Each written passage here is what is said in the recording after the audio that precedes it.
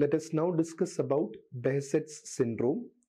This is categorized as a variable vessel vasculitis as it can involve either the large, medium or small sized blood vessels.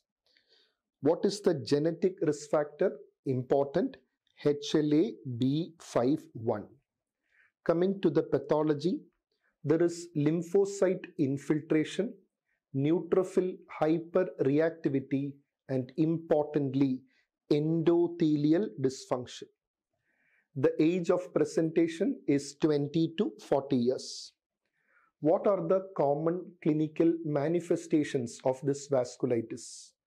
The most common and universal manifestation of Behçet's disease is the presence of oral ulcers. They are seen in 100% of patients with Behçet's disease. You can also have genital ulcers over the scrotum or the labia. Ocular involvement can be there. The classic involvement is that of a bilateral panuveitis. Bilateral panuveitis. Joint involvement in the form of arthralgia or arthritis. Vascular involvement. So this can result in superficial thrombophlebitis, deep venous thrombosis, cerebral venous thrombosis, Budd-Chiari syndrome, and interestingly, pulmonary artery aneurysms. Neurological involvement, important, it can cause strokes, especially involving the brainstem. So brainstem strokes are common in patients with Behçet syndrome. Gastrointestinal manifestation, clinically and by endoscopy, will closely mimic Crohn's disease. Okay, right. Now coming to the diagnosis. The criteria for the diagnosis is the ISG, International Study Group Diagnostic Criteria. So as per this criteria, to establish the diagnosis of Behçet's disease, one manifestation that has to be there is oral ulcers. Oral ulcers has to be there. Plus any two of the four manifestations, which would include number one, recurrent genital ulcers, number two, skin lesions. What are the common skin lesions that can be seen? Number one, you can have acne-like skin lesions. And number two, you can have erythema nodosum. Erythema nodosum. The third is the ocular involvement. And the fourth is a pathergy test. So what is a pathergy test? So you are doing this test. This test is done using a, a needle, which is often a 20 gauge needle.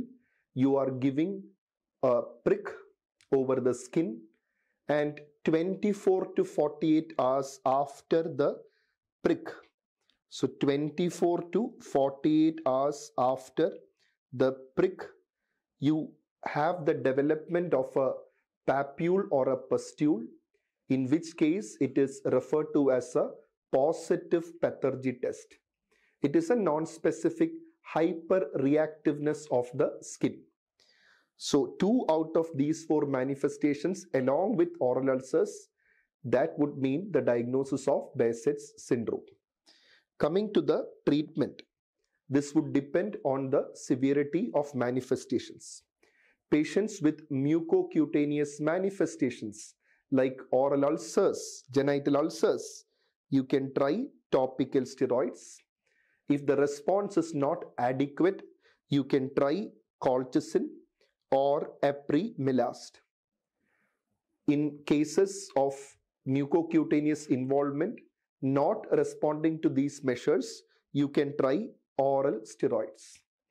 Oral steroids can be used for the other organ system manifestations of Behçet's disease as well. Now, along with steroids, you will give a steroid sparing agent for longer duration of treatment like azathioprine. And in many instances, like the GI involvement, you might have to add infliximab along with the azathioprine. This is in a nutshell about Behçet's syndrome.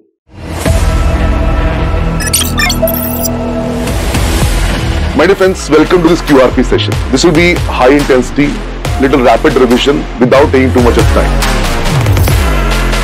You have to reconfirm whether it is hematuria itself. Yes, can you see hydrocephalus in the child? Can you see diffuse brain calcification in this patient? And can you see this focal chorioretinitis? There is a central chorioretinitis and a haziness ring around it. This is what you call as headlight in the fog appearance. We is only up to 200 ml and stomach is cut here and this is the D1.